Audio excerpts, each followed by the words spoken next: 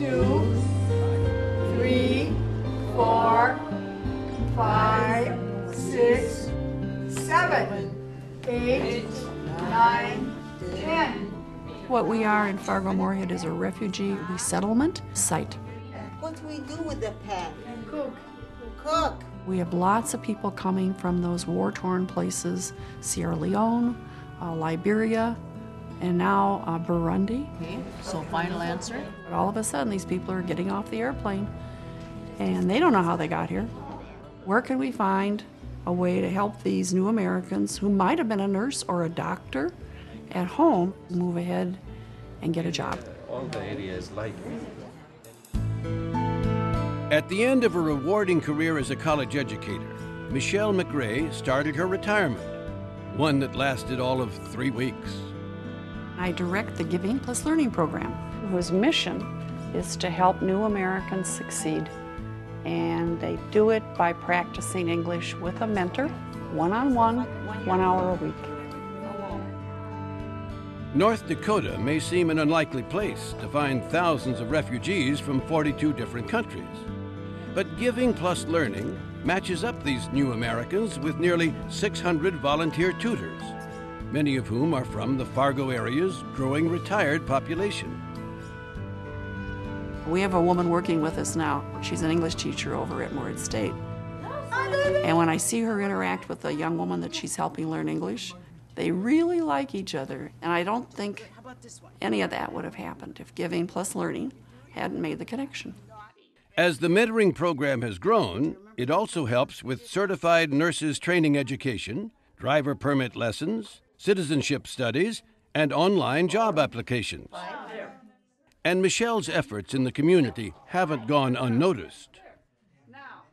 She really takes that time to sit down and to talk to you. We have a sense that she's a listener. Before we finish our sentence, she's already finding the solution. So I see Michele not as one person, but I see Michele with probably 8,000 refugees behind her.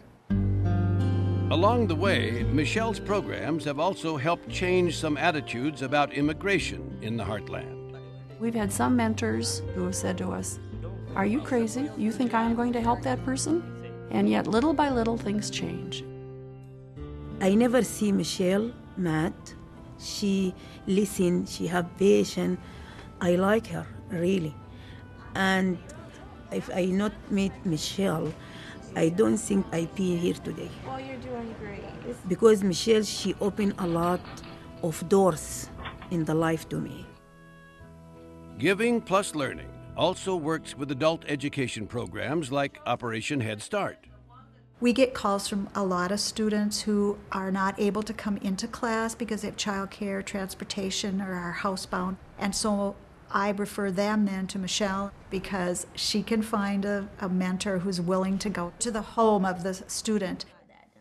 We weren't able to do that in the past. I'm just always amazed at the continuing amount of ideas she has, and I'm hoping I'm like her someday. There's a French expression about retirement years, troisième âge, the third age. What are you going to do with all these extra years? I can't play bingo all the time. You want this guy in? I've been blessed with a partner who's pretty open. We love to travel. We like to cook. So I'm going to stick hers in. Before I married Michele, you know what she thought a pizza was? Bisquick and Velveeta cheese. And I still married her. You are hopeless. And my husband Tony mentors for us because it's such an interesting project.